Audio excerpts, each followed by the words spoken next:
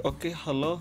Ketemu lagi di channel Aronikos kali ini cara mudah dan gampang, praktis, simple untuk kembalikan lagi speedometer motor Anda menjadi bening kembali seperti baru.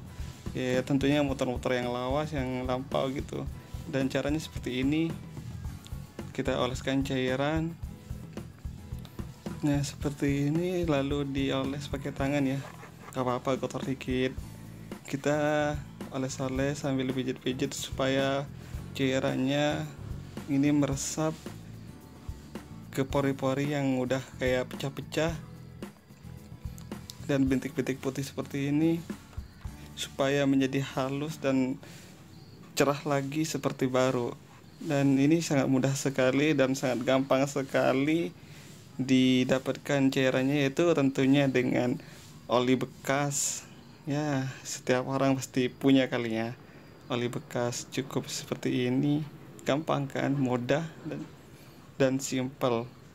Tapi hasilnya sangat memuaskan. Silahkan untuk anda yang ingin mencoba yang punya motor lama yang pengen cerah kembali kaca speedometer motor anda. Oke seperti ini kita pijit-pijit pakai perasaan ya. Oke. Dan apabila anda merasa sangat puas atau bermanfaat bagi Anda silahkan mohon di like atau di subscribe channel saya. Insya Allah ada manfaatnya. Seperti ini dan ini harus diinapkan semalam. Jangan dilap langsung. Jadi kita ngelapnya pakai cairan ini cairan oli bekas sore hari dan kita inapkan semalaman dan pagi harinya kita akan lap oke okay ya? Jangan langsung dilap. Seperti ini. Nah ini udah rapi. Udah meresap ke dalam kali ya. Dan kita tunggu nyampe besok pagi. Nah dengan cara seperti ini nih cairannya oli bekas. Murah gampang tapi hasilnya sangat memuaskan silahkan dicoba ya.